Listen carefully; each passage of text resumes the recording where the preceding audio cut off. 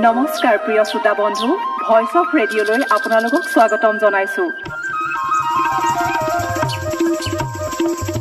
আৰম্ভ কৰিবলৈ লৈছোঁ পুৱাৰ ৰেঙনি।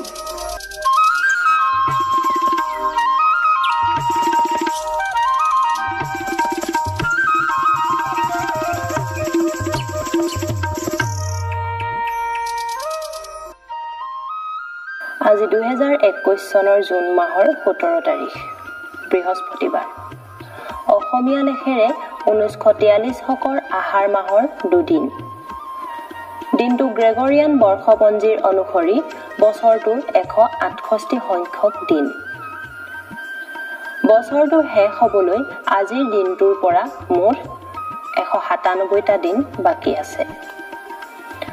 আজিৰ দিনটোৰ সূৰ্যোদয়ৰ সময় হ'ল পুৱা চাৰি বাজি চৌৱন্ন মিনিট ছাব্বিছ ছেকেণ্ড আৰু সূৰ্যাস্তৰ সময় হ'ল আবেলি ছয় বাজি বিছ মিনিট দুই ছেকেণ্ড।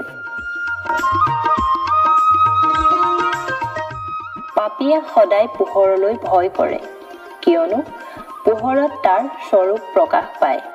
এই কথাষাৰ কৈছিল যীশুৱে। আজি আন্তঃৰাষ্ট্ৰীয় নিৰ্বনানীকৰণ আৰু খৰাং প্ৰতিৰোধী দিৱস। প্ৰিয় শ্ৰোতা বন্ধু আজিৰ দিনটোৰ কেইটিমান উল্লেখযোগ্য ঘটনাৰ বিষয়ে জানো আহক।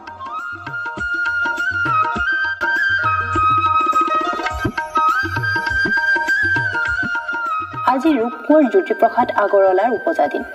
ঊনৈছশ তিনি চনৰ আজিৰ দিনটোতে তেখেতে জন্মগ্ৰহণ কৰিছিল। চীন চৰকাৰৰ দ্বাৰা প্ৰথমটো হাইড্ৰজেন বোমাৰ বিস্ফোৰণ কৰা হৈছিল ঊনৈছশ সাতষষ্ঠি চনৰ আজিৰ দিনটোতে। এঘাৰশ আঠাইছ চনৰ আজিৰ দিনটোতে কাউণ্ট পঞ্চম জিঅ'ফ্ৰেৰ ইংলেণ্ডৰ ৰজা প্ৰথম হেনৰীৰ কন্যা মাৰ্টিল জলৰ সৈতে বিবাহপাশত আবদ্ধ হৈছিল। ভাৰতৰ প্ৰাক্তন গভৰ্ণৰ জেনেৰেল লৰ্ড কেনিঙৰ ইংলেণ্ডত মৃত্যু হৈছিল ওঠৰশ বাষষ্ঠি চনৰ আজিৰ দিনটোতে।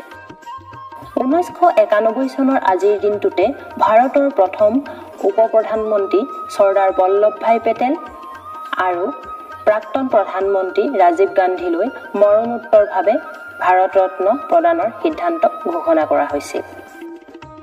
সোতৰশ ছাপন্ন চনৰ আজিৰ দিনটোতে নৱাব চিৰাজুদ্দৌলাই ইংৰাজৰ দখলত থকা কলকাতা পুনৰ উদ্ধাৰৰ বাবে অভিযান চলাইছিল।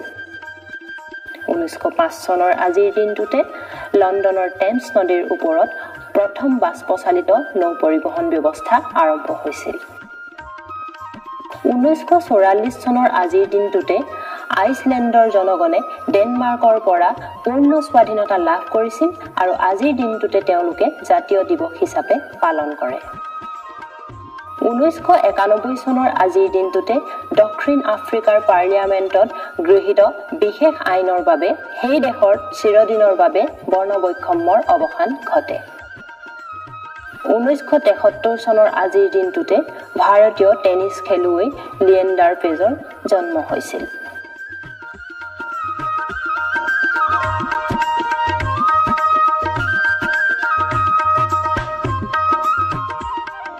প্ৰিয় শ্ৰোতা বন্ধু এই চেনেলটো ছাবস্ক্ৰাইব লাইক আৰু কমেণ্ট কৰিবলৈ নাপাহৰিব।